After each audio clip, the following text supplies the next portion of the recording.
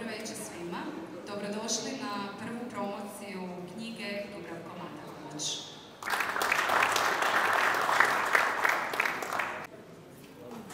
Hvala. Um, Dakle, u ove zadnje i dosta mojih prijatelja, poznanika, ima dosta ovaj, ljudi koje nisam nikada vidio. Ovaj, što mi je isto drago da dolaze ljudi koje ne poznam. Da, fali, nedostaje, a, nedostaje tih radova, između ostalog, kao što je Hrvoje rekao, ne- neki su a, ukradeni, a, neki mi nisu vraćeni iz, iz raznih ovaj, redakcija i tako dalje.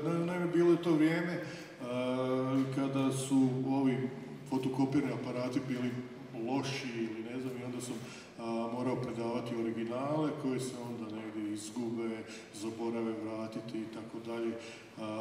Onaj strip Protman i čovjek frižider, to sam slao na natječaj u Beograd i strip je osvojio drugu nagradu, a, prvu je osvojio Kordaj. I nisu mi vratili taj strip, nego to je negdje u nek, kod nekoga, onda sam ja otišao, sjeo sam na vlak, otišao sam u Beograd, tamo gdje sam poslao strip, tamo nije tog stripa bilo i tako onda su me tako slali po Beogradu, nikad taj strip nisam ovaj, dobio natrag. Srećom imao sam neku fotokopiju, kako takvu. Uglavnom, ovaj, um, eto, stripovi su se gubili, ni- nije to ovaj, nedostaju. Jedan strip od a, tri ili čet- četiri table, mislim, Glištung Mižić u Partizanu, ne u Partizanu, Glištung Mižić iz budućnosti, bio je na izložbi crtani romani show gdje sam ja bio.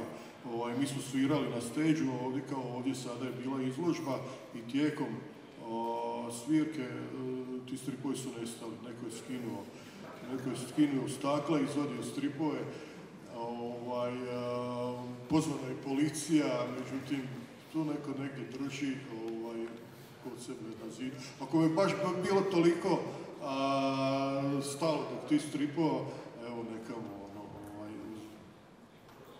nadam se da... A možda.